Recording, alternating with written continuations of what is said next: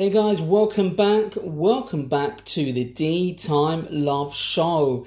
And today I've got a really interesting video. I'm really excited. I'm going on vacation for a good three to four weeks. I'm going to be away, but I will be shooting content. I'm going to be a real beach bum. I'm going on a real beach holiday. I've got an all inclusive on the beach. I'm going to be putting on a lot of weight. I'm going to be sitting on the beach and on the pool, but I'm going to be snorkeling. As you can see there below, I've got my snorkeling set. And I thought it'd be quite fitting to do this video in front of my tropical fish tank to get me in that summer vibe, to get me into that snorkeling vibe. I am a real marine enthusiast. As you can tell, I absolutely love my tropical and marine fish. Very cool indeed. But before I go into depth in relation to the watches that are going with me on holiday and my reasoning why, let's do a quick wristwatch check. And today I'm sporting the Tudor Chrono Blue Monte Carlo, one of my favorite summer watches, but it won't be coming with me on vacation.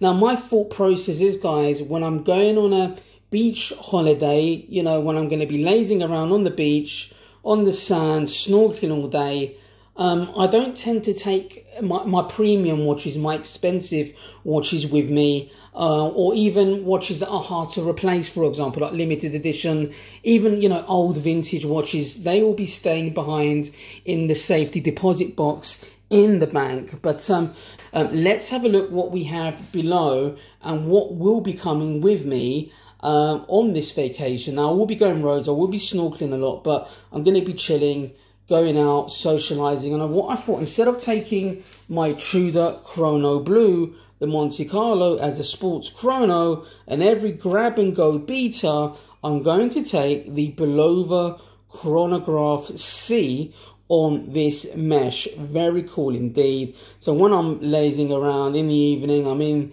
you know, the buffet or fine dining in the hotel, wherever it may be, I'm probably going to wear this chrono. It's going to be wearing sports, smart, leisure clothing like Levi's short jeans or maybe a, a tropical theme shirt. I don't know, but I may do a vlog so you can see what I'm wearing. But um, that's what I might be wearing during the evening. And um, during the day, I'm going to take a few divers with me. I'm going to be snorkeling, and um, I thought, as it goes with my snorkel, I'm going to take this Orient Mako, um, you know, the original Mako uh, with this orange rubber strap. Um, and I've, I've snorkeled, I've, I've, I tend to swim with this watch as well. Has fared very well over the years, 200 meters water resistant. It's got a dark navy blue dial. Sorry about the smudges and the lighting, guys. But um, this watch hasn't got much wrist time. And I thought, you know what? If I break it when I'm on holiday, it will give me ex an excuse to buy the new Orient Ray 2. Hence why I'm going to take it and it might get a little bit damaged while I'm away. So I have excuse to buy another watch. Um, another one I'm going to test when I'm over there is the Pantor Sea Lion, guys. 300 meters, water resistant, uh, cool, cool watch indeed. Going to try it out. I've actually did take it on the pool the other day. It's a little bit dirty, but um, I'll probably wear these at, in the pool. Um, the Orient Ray and the Pantor Sea Lion. But when I'm snorkeling in the sea, there's only one watch that I'm going to be wearing. Something tough, something very strong, something that ain't going to be bother me if I destroy it while I'm on holiday. The G-Shock DW5600 classic square G-Shock in white in fitting with the summer holiday vibe. I have to say, yeah, this is what I'm going to be wearing most of the time while I'm sitting in on the beach.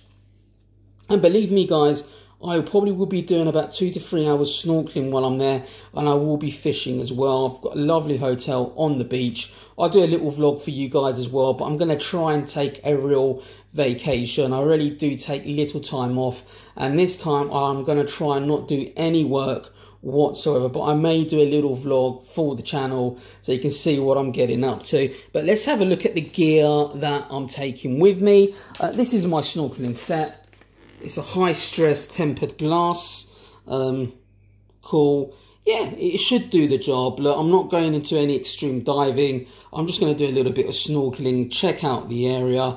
Uh, very cool indeed. What else do we have? Let's just check this out. Uh, yeah, look, I always do take some knives with me. This is an Anglo Arms Amazon knife set. Very cool indeed and camouflage. Not really a big knife guy, but I just thought these are really cool in camo and uh, I may take it. I've got an all-purpose, like a Swiss alternative Anglo arms knives there.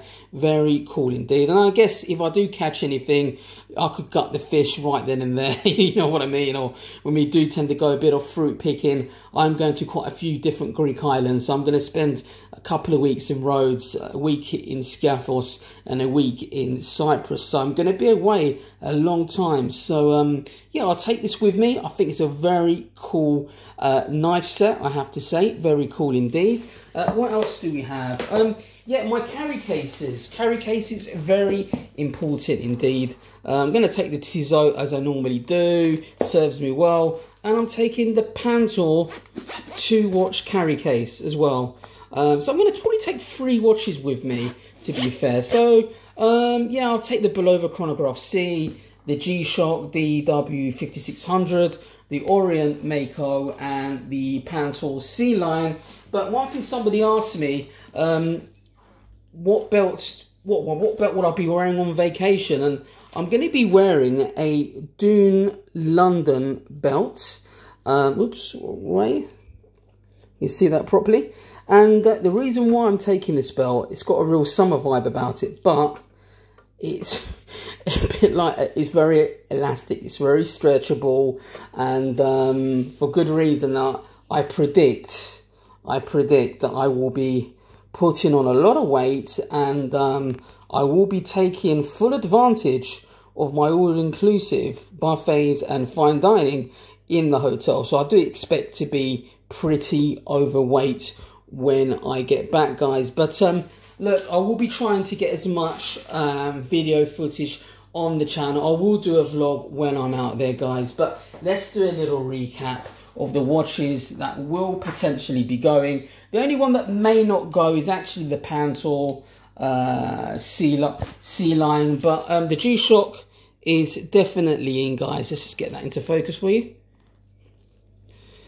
The G-Shock's definitely in.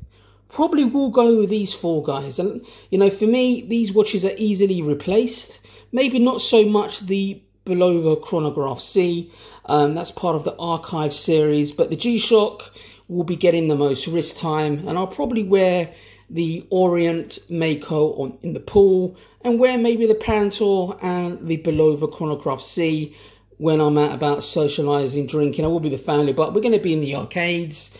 We're going to be doing so much activity, sports, leisure, um, I'm expecting to cause quite a bit of damage to potentially these timepieces. I'll probably be quite careful with the Bulova Chronograph C as it's probably the most delicate watch out of this bunch. But um, yeah, guys, I hope you enjoyed today's video. Something a little bit different. Let's get the, let's have a look what the, the angelfish think. Are they impressed? Let's have a look. Don't know if they're, they're impressed, guys. But anyway, I hope you like the content. Don't forget to like and subscribe to the channel. I've got a lot more videos coming through. Take care, guys. Enjoy your holidays. Keep safe. And I'll see you in the next video.